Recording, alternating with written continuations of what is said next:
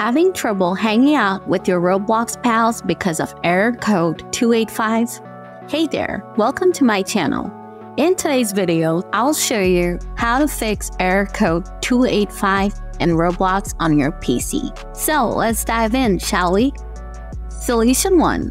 Before wrecking your computer, check to make sure your internet is working okay.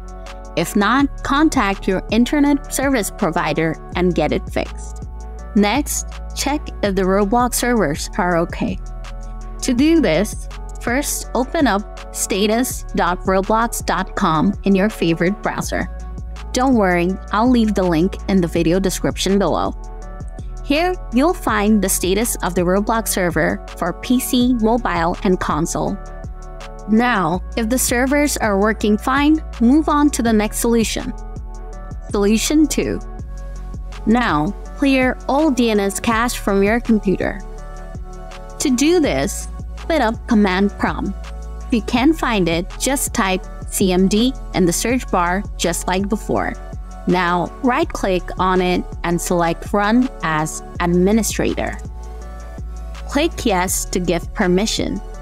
Now type ipconfig, then space, then forward slash flush DNS.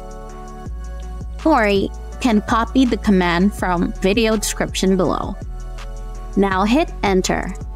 Here you can see it says successfully flush the DNS resolver cache. Now close the window and check if the issue is fixed. Solution 3. That doesn't work for you either? Try resetting your network settings. To do this, simply open up Settings, click on Network and Internet.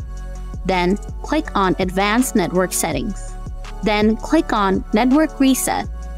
Now click on Reset Now and lastly click on Yes. Now restart your computer and check if the error is gone. Solution 4. Still getting the error? Use an optimized DNS server. To do this, open up Command Prompt again. Now type ping 1.1.1.1 and press enter.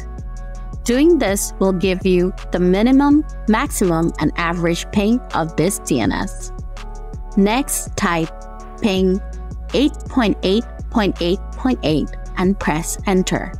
And this will give you the minimum, maximum, and average ping of this DNS.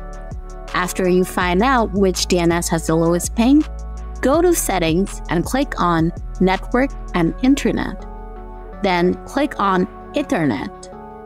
Now scroll down a little and click on the Edit button next to DNS Server Assignment.